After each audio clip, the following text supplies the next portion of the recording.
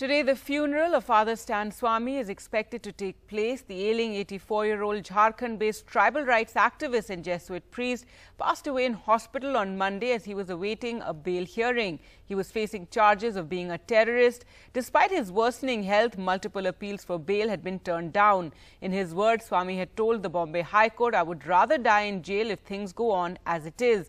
Jail has brought me to a situation where I can neither write nor walk. Someone has to feed me. He had Parkinson's disease and his lawyers had to reach the courts to even give him access to a sipper. In a cruel irony, his death was announced in court during yet another bail hearing. मुझे बॉम्बे जाने के लिए भी अभी मजबूरी की जा रही है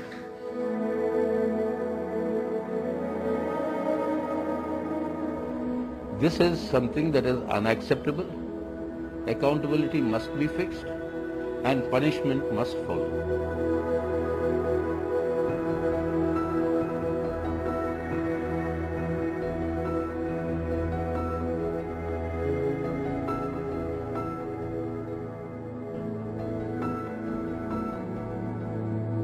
It is in this hospital in Mumbai that Father Stan Swamy died this afternoon.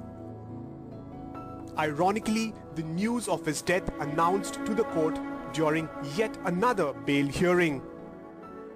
Father Stan Swamy tested positive for COVID when he was admitted to the Holy Family Hospital on the Bombay High Court's orders. He managed to fight off the infection. On Sunday, his condition deteriorated swiftly and he had to be put on ventilator support. On Monday morning, he suffered a heart attack and died on Monday afternoon in the ICU of the Holy Family Hospital.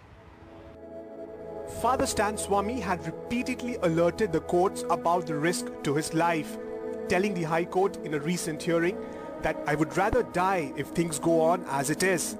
I would like to be with my own. Jail has brought me to a situation where I can neither write nor walk. Someone has to feed me. Political condemnation has poured in, including Rahul Gandhi and Kerala Chief Minister Pinarayi Vijayan, both holding the government responsible.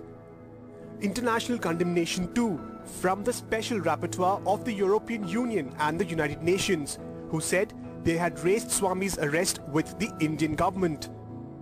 Fueling the outrage were the doubts over the charges against Swamy, who was arrested along with several other activists in the Bhima Koregaon case for alleged Maoist links and even plotting to kill the PM.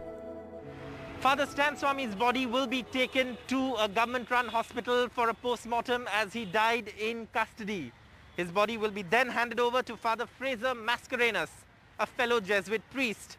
His last rites will take place here in Mumbai and not in Ranchi or Jharkhand, where he worked for most of his life.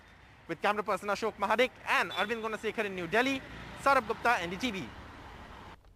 And condolence messages are pouring in and tributes to Father Stan Swamy. A message from the Cardinal on him. We are deeply saddened at the passing away of Father Stan Swamy. We give thanks to God for uh, Stan's life and commitment to the poor indigenous people and their struggles.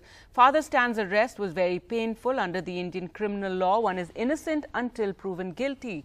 Father Stan's case did not even come up for hearing, and we were eagerly awaiting for the case to be taken up and the truth to come out.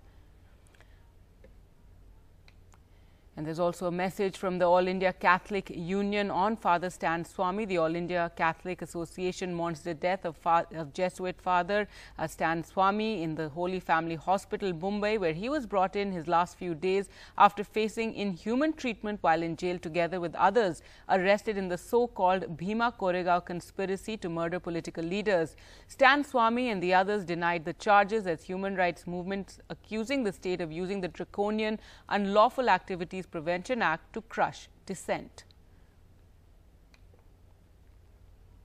Justice Madan Lokur, former Supreme Court judge, spoke on how he had been following Stan Swamy's case very closely, even though he didn't personally know him. I did not know Father Stan Swamy personally, but I had an interest in his case from the time he was arrested in October uh, last year and I have been following the orders that have been passed by the courts from time to time. And I must say that I have been extremely disappointed at the manner in which the courts the prosecution, and all those concerned with his uh, detention have been reacting.